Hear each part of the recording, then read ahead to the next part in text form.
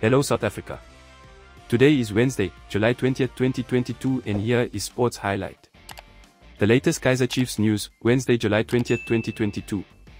Go easy on Arthur, retired Kaizer Chiefs and Mamelodi Sundowns striker Kenny Niemach has commented on what is important for Arthur Zwane as coach of Amakhosi in the new season. Zwane was appointed as the new Chiefs coach on a three-year deal in June, and his appointment saw the management go all the way to bolster the squad with eight new players.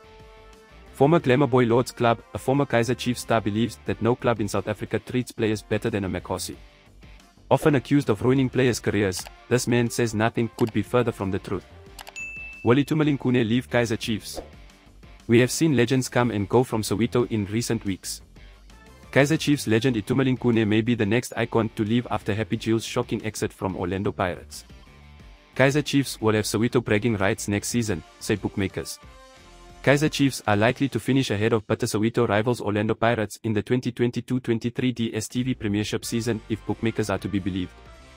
However, there will be no denying Mamelodi Sundowns a sixth consecutive PSL title.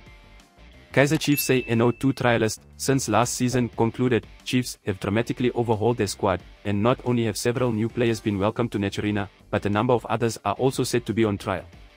However, one player trial has failed to make the grade. Fourth striker linked with Chiefs, without Kaizer Chiefs have been linked with so many strikers in one window before. There's a fourth one from Lesotho. Please subscribe for more news updates. This is Luke for the South African.